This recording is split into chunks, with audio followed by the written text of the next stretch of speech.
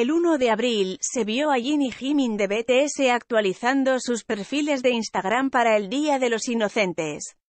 Ese día, Jin actualizó su foto de perfil con el campeón de League of Legends, Jin, e incluyó el eslogan del personaje en la descripción de su perfil. La cita dice, en la carnicería, florezco, como una flor en el amanecer, que es una de las citas famosas dichas por el personaje Jin. Por otro lado, Jimin actualizó su foto de perfil como Bang Si-hyuk y escribió en la descripción de su perfil, padre de Bangtan Sonye Ondan.